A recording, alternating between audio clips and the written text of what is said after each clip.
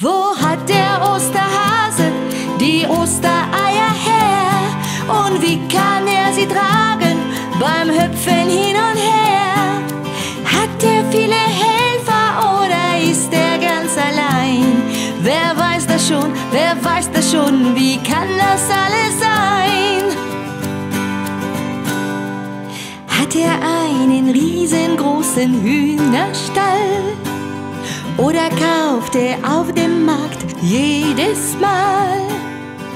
Hat er vielleicht im Keller einen Vorratsraum, wo er alles lagern kann?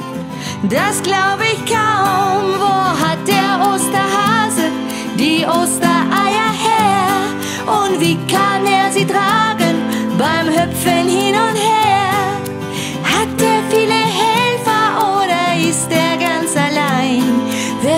Das schon, wer weiß das schon, wie kann das alles sein? Haben so viele Eier denn auch viel Gewicht? Versteckt er sie bei Tages- oder Mondscheinlicht? Macht er das schon ewig oder gibt es jedes Jahr überall in Wald und Tal ne Osterhaselwahl?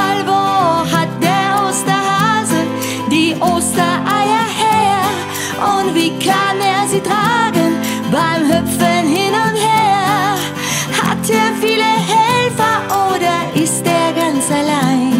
Wer weiß das schon, wer weiß das schon, wie kann das alles sein?